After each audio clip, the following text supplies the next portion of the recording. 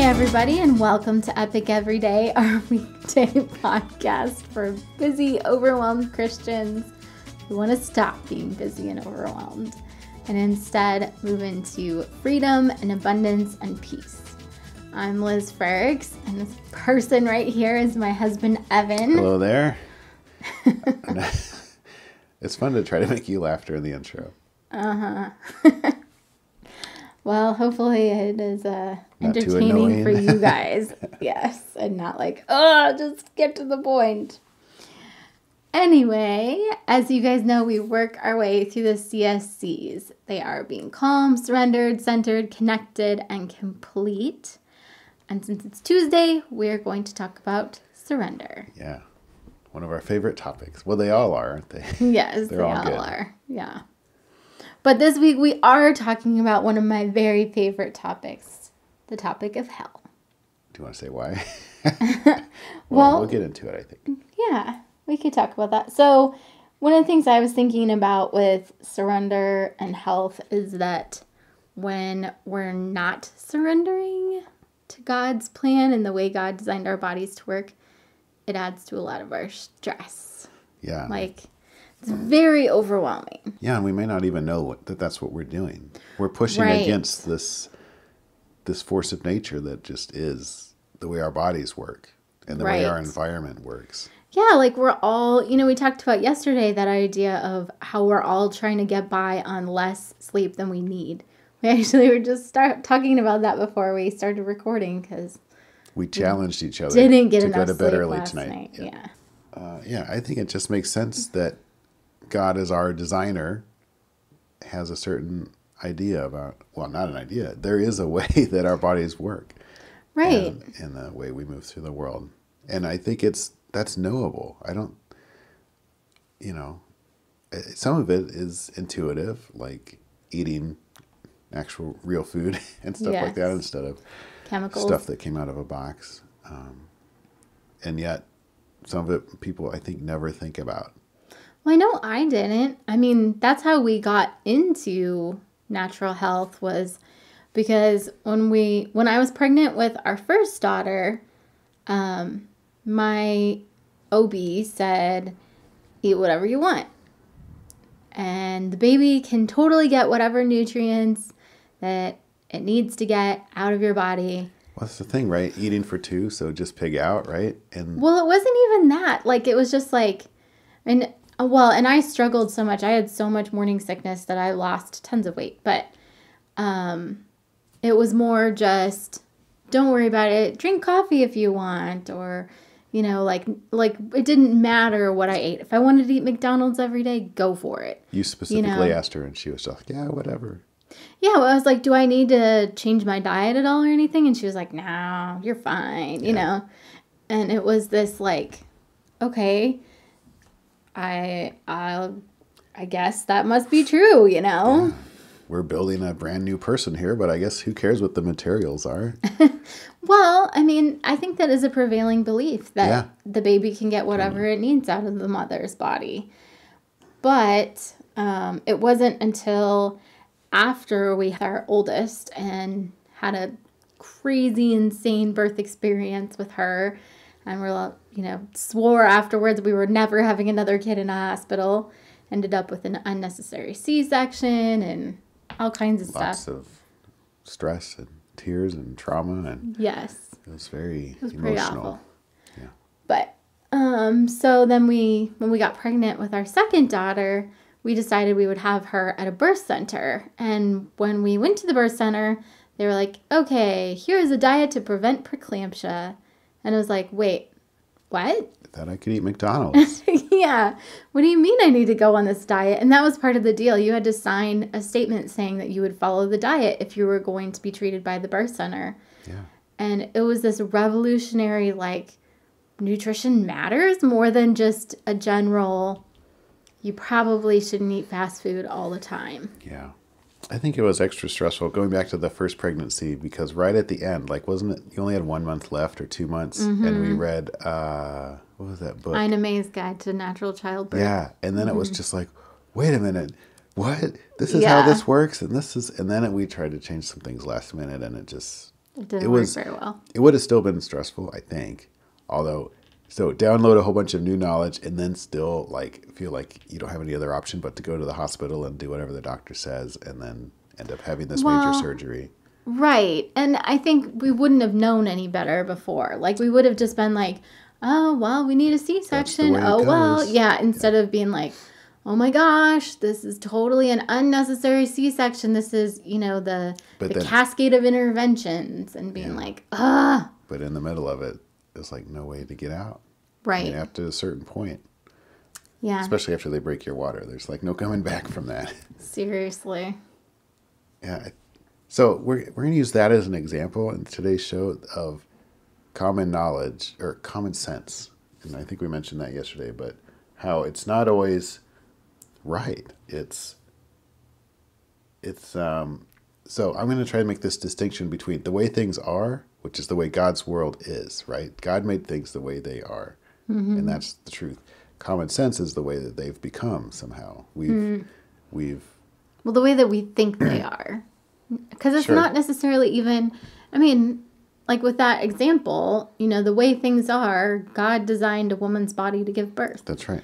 But common sense is, oh my gosh, we need to measure you. Are your hips wide enough to birth a child? I'm not really sure. We probably should induce Go ahead and eat early. McDonald's, but then when you go into labor, don't eat it all just in case we have to do surgery. Right. And don't walk around. Like, yeah, that's the way things have become. In our wisdom and in our shaping of society and, you know, our smarts, and we're so much more genius than than God is. Or, you know, God's, if you're totally evolutionary, God's out of the picture anyway. So, but yeah, that's the way things have become. This, and that's common sense. And Right. fighting against that is always going to be an uphill battle.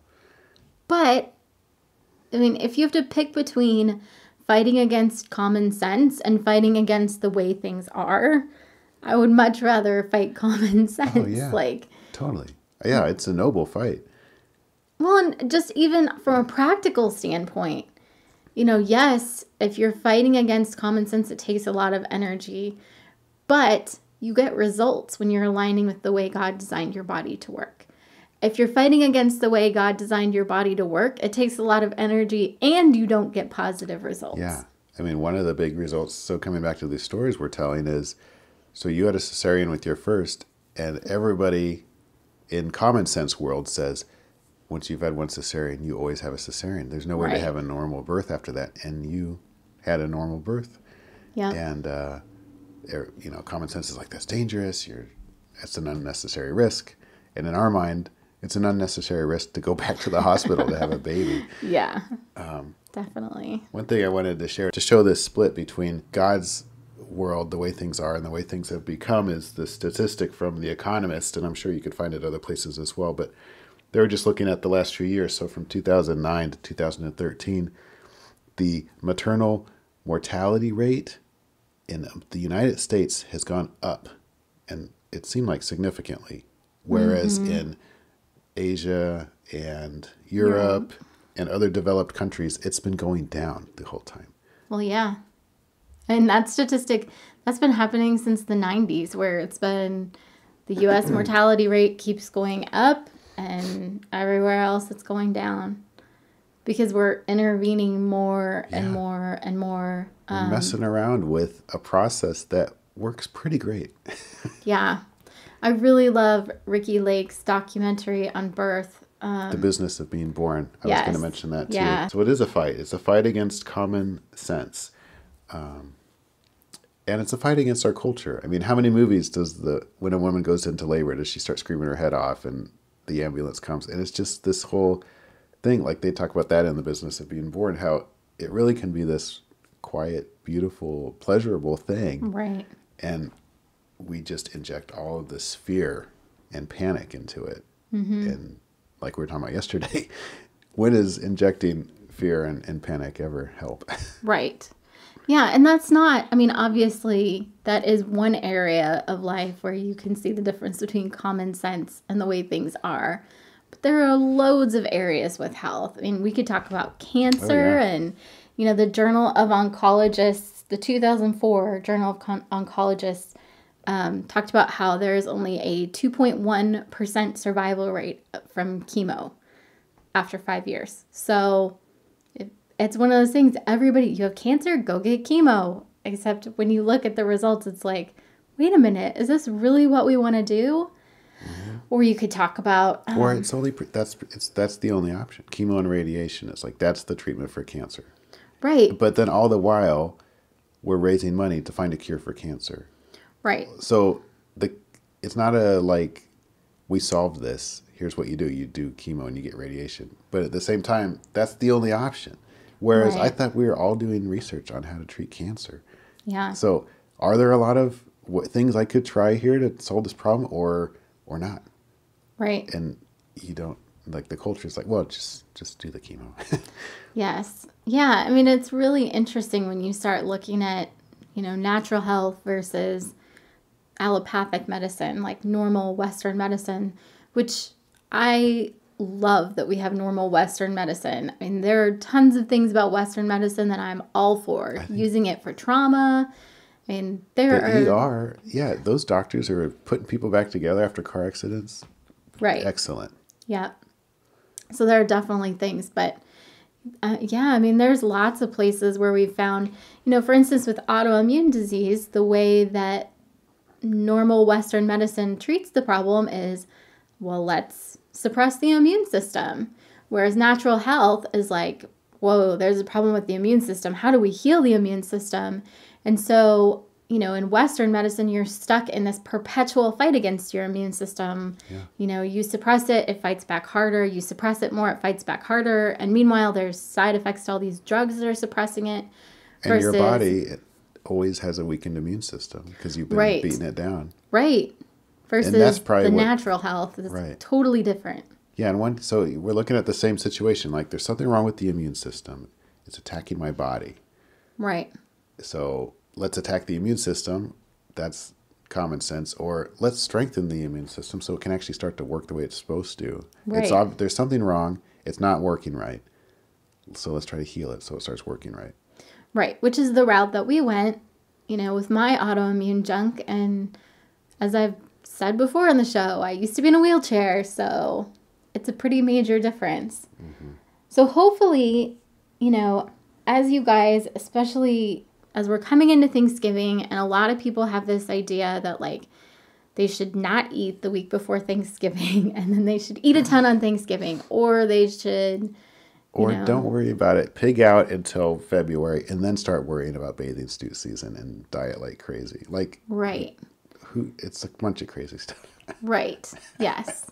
There and it's so interesting, you know, um, if you make food with real stuff, like real fats, real sugars, all that kind of stuff. Ingredients that yeah, either came from a plant or an animal that God made pretty directly. Right. Anything you can make in your very own kitchen, pretty much. Yeah. You can buy some pretty bizarre ingredients, but that's yes. a good rule. Yeah. But you I mean, if you can't, you if you need a chemist to make it, uh-huh.